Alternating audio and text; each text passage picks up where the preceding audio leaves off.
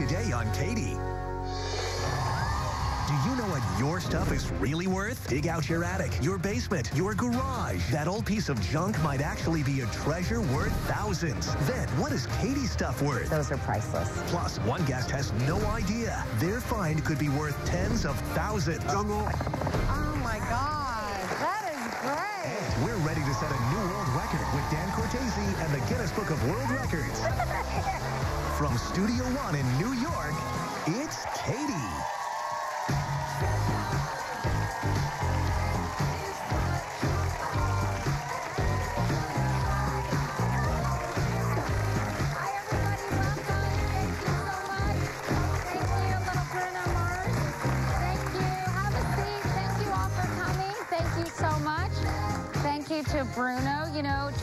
what this show is all about today. Did you know you might be sitting on some serious coin and not even know it?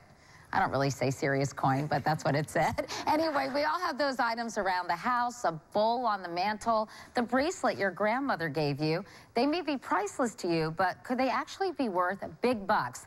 Listen to this. In 2012, a man paid $5 for a sketch at a Las Vegas yard sale. Well, it turns out it was an original Andy Warhol painting worth $2 million. That's right. Meanwhile, this summer, a Philadelphia woman learned that a necklace she's had for eight years could be worth $300,000, and she found it at a flea market and bought it for $15. Well, that's why everyone in today's audience brought something they'd like to have appraised. So, what is your stuff worth? We've assembled an all star team of appraisers to find out. Elyse Luray is the Sherlock Holmes of the art and antiques world. I think it's probably worth three times that. Seen on Collection Intervention, she's used her detective skills to appraise everything from coats of armor to the Lucasfilm archives. You know how much I can get for this? Have a question about dolls, comic books, or action figures? Ask the toy hunter, Jordan Hembrough. 275? 275. He hunts through basements and attics all across America, looking for hidden treasure in the toy chest. I smell something fishy, no pun intended. And the Keno brothers, Lee and Leslie, have almost 50 years of appraisal experience combined. The duo specializes in art and furniture and show off their skills on Antiques Roadshow. I would estimate this at $15,000. Oh, you're kidding. So blow the dust off those boxes and clean out the attic. We're about to find out what your stuff is worth. So please welcome Lee and Leslie Keno, Elyse Luray, and Jordan Hembrough. Hi, everyone. Nice to see you. So this is going to be so much fun. First of all, Leslie, let me start with you. How often are people sitting on real hidden treasure right before their eyes in their homes? Well, I'm always amazed, Katie, how many times we find pieces that literally are right in the pantry or in the attic or the closet or the basement, and you never know when they're going to turn up. And we often hear stories, I know, Lee, about people going to yard sales and picking something up and, and suddenly realizing it is worth a boatload of, of money. What are the, some of the strangest discoveries that you've witnessed? Well, one of the most rewarding was when on the, the, the table that was bought for $25 at a tag sale in New Jersey, and the lady brought it to the Antiques Roadshow in Secaucus, New Jersey, right? This is years ago, and uh, we appraised it at 150 to 200,000 dollars, roughly, and it ended up selling at auction for 550,000 dollars. But how do you discover, uh, Elise, that something you own is valuable?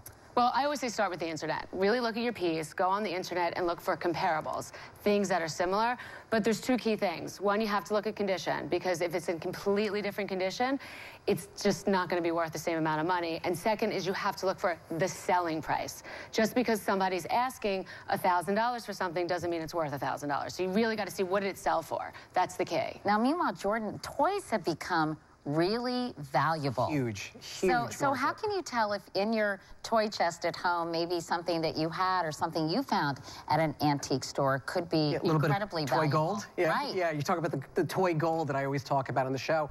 What you want to do is you want to make sure all the toys are complete and they have all the, their little accessories and everything. If you have the packaging, sometimes it could double or even triple the the worth of the, the toy and everything Wow. like that. Uh, you know, it's not uncommon nowadays to, to work with people and find toys that are worth five to ten thousand dollars. Wow. We wanted to know what your stuff was worth. That's why we hit the road and headed to Dallas. Is everything bigger in Texas? We sent our cameras to find out. The Katie Show is coming to town to see if you could be sitting on a gold mine. For News 8 Midday, I'm Cynthia Izaguirre. Could your latest flea market purchase or unique family heirloom be worth big bucks? We're here today at Heritage Auctions, and it's really exciting. The place is packed. People are coming in with dollies, with carts, and they've scoured their attics and their basements and through Grandma's treasure chest. And we're going to see some really great things here today.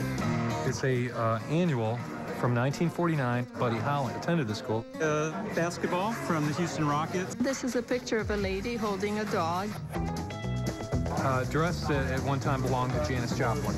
As far as collectible value, not real significant. Was either my grandmother's or my great grandmother's. Absolutely stunning stone. It does appear to be a yellow sapphire, and um, we'd like to do a little bit more research on it. The condition is fantastic. We'll be glad to do some more research on it. I've held these balls um, for 57 years. So it's in 1892. It actually has a little CC down there oh, okay. for Carson City, Nevada, which makes it much more special. This coin might actually be worth something, and I'm really excited to be able to give it to my son who's looking to buy a new home, so this really might help him out in that process. We have Lionel Mickey Mouse train. Oh, man, look at that. I've never seen one this complete or in this nice a shape. Do you have have any idea of what you think it might be worth? The original price on it was $1.95. What would you think about going to New York with this piece? I may not be available, but my wife might be. Your wife might. And since this belonged to her mother, she might appreciate very appropriate making the trip and getting the news. We had a great day today here at Heritage Auctions, and I can't wait for these people to find out what their stuff is worth. Couldn't come home from Dallas empty-handed, so we brought some of our viewers back with us to find out what their items are worth. So first up, we have Sherry. Sherry, come on out. Hi, how are you? Nice to see you. Okay, so look, we have our panel of experts here, Sherry. Okay, Keno Brothers, tell us about this. Okay, I am not a coin expert, so I checked with Mark Ingold from Heritage Auctions, who's a real coin expert. In 1892, uh, the $20 gold piece. And the neat thing about this, Sherry, uh -huh. is uh-huh. that on the back side, when you look at this very closely, it has this double C, the CC, yes. which stands for Carson City, Nevada, which you may know. Yes. And that's, of course, where they were mining gold. Now, the, the condition affects the value of this a great deal. And um, this coin is worth, in this condition, $2,500. Wow. Wow. Nice nice. Really nice Thank, Thank you so, so much, much, for coming okay, by. Good to guys. see you. All right, next up we have Claire. Claire, come on out. She's got something fun. Okay.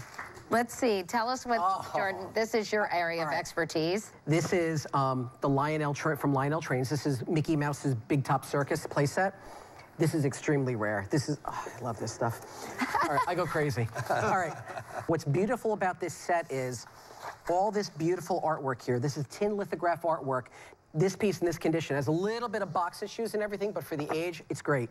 You're talking anywhere between, oh, I love this part, I love this part. this is, all right, drum roll. I get excited. Ten to $12,000. Wow.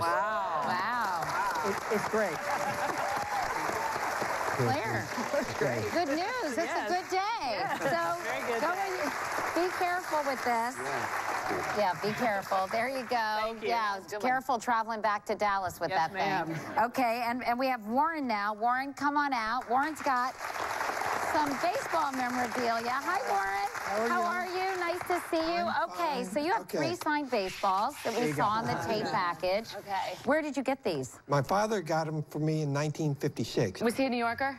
Uh, my father This was, is the yes. perfect New York set. Okay, yes. so there's two things that make me nervous about this ball. The first one is that it says Spalding, and the second one are these three signatures with the Jackie Robinson. It's not a real ball. It's a Dodgers ball, and the ball boy actually, during the 1956 season, because the fans were so fanatic, made these balls. But they are collectible because it's a really good example of a forgery and a good forgery, and it's period. So how much would that sell sell for? It sells for a couple hundred dollars. Uh-huh. You know, it's really not worth, uh, you know, a lot. The Yankee ball is the most collectible. Right. I'm excited about that. And when we look at baseballs, we always look at the sweet spot. That's right here to see who signed it. And you have Yogi and Mickey. The problem and is Mickey Mantle, the cool. Mickey Mantle signature to me does not look right. So this, these two balls together are worth about 1500 to 2000 If this was Mickey's signature, you'd be looking at four or $5,000. So it really makes a big difference if, it's, if Mickey's right. And the fact that you have the signature and it's not right makes the, worth, the ball worth a little bit less. Well, obviously, they have so much sentimental value yeah, to yeah. you, right? In Yeah. this case, they're priceless. Priceless. Yeah. Oh, well, Warren, thank you very much. Here. Careful. Thank you. Thanks, Warren. Okay, and finally, from Dallas, we've got Janet. Janet, come on out. All right, so hi, how are you? Nice to see you. All right, so Janet brought a beautiful brooch, and I know that the Keno brothers have been checking your brooch out. Tell us about it. Look at that sparkle. Well, Wow. we're not jewelry experts, eh, but we did check with a great specialist, Gus Davis, who's um, one of the great experts in jewelry, and he looked at detailed photos of this. There's a pretty big stone there you've got, and it really is glittering, as you, as you can see. What is that? see What kind there? of stone is that? Is that a sapphire or what is that? That is a yellow sapphire surrounded by beautiful, beautifully set diamonds that, that around like a vine, intertwined uh, vine. The, the auction estimate that we place on this, on this beautiful brooch would be 8,000 to $12,000. Oh, my God. Nice. Hmm. That is great. Beautiful. That may be conservative. Yeah, now Katie wants it, right? Yeah, it's beautiful. Well, wear it in oh, That's good health. great. Janet. I will. Be Thank careful. Take good care of it. it's worth a lot of money. Thank you so much. And when we come back, I'm going to take you inside my apartment to check out some of my possessions. Is one woman's trash another woman's treasure, or is it the opposite? We'll find out right after this.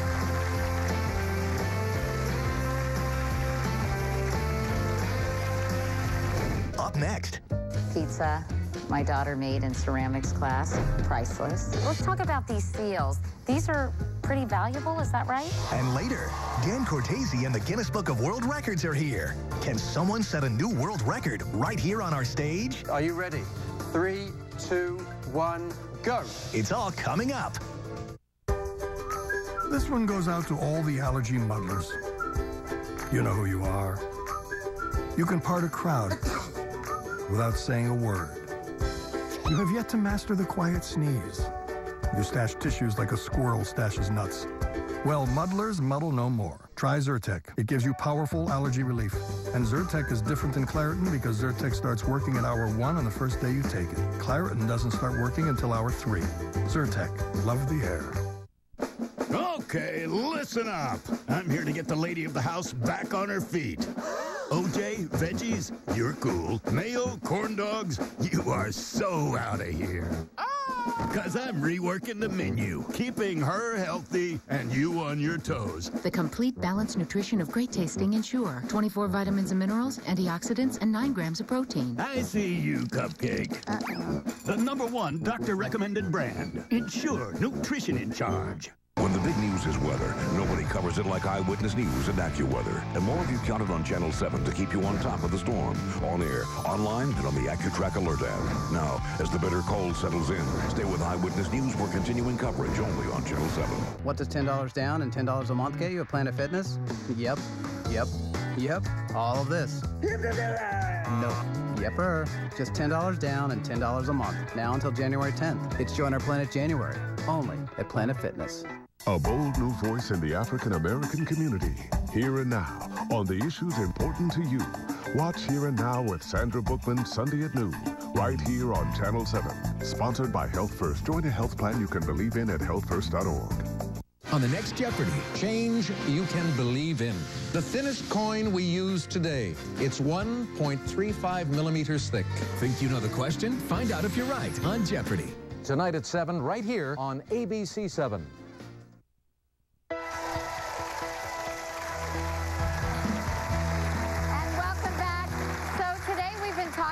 About what your stuff is worth with our all-star appraisers, Lee and Leslie Keno, Elyse Luray, and Jordan Hembrough. Anyone who knows me knows that I'm a bit of a collector, maybe even a little bit of a hoarder. is that a bad thing? Maybe not, because I invited our cameras over to my place to find out. Hi, everyone. Welcome to my apartment. I thought I'd show you some of my odds and ends I have around my apartment because I'm anxious to know just how valuable or unvaluable they are. This is my pillbox collection, which is incredibly sentimental to me because my grandmother gave me some pillboxes. This one was my grandmother's. It was tortoiseshell. I try to collect them. Over here is also incredibly sentimental. My husband was a real Civil War buff, so he collected a lot of memorabilia. Now here, I have some fun things. The pizza my daughter made in ceramics class, priceless. I have these cool bottles. They kind of have a gold covering or some kind of iridescent covering that looks as if it wore off somehow. And this is obviously an antique teapot. It's quite beautiful. These are a bunch of perfume bottles, which I thought would be fun to have. And then here, this, of course, is from my home state of Virginia. I'd love to know more about where this came from. When I went to Zimbabwe for the Today Show, I bought this nativity scene. There you have baby Jesus. I think they're really interesting and cool. I have to mention my friend here. My husband collected a lot of militaria, and after Jay passed away, we thought he was going to kind of watch over us, so we kept him in the corner. I'm really excited to talk to an expert and find out what all this stuff is worth, so we'll see, right? So I brought some of my items. And we, we selected a few of my items. You all are coming to my apartment after the show to tell me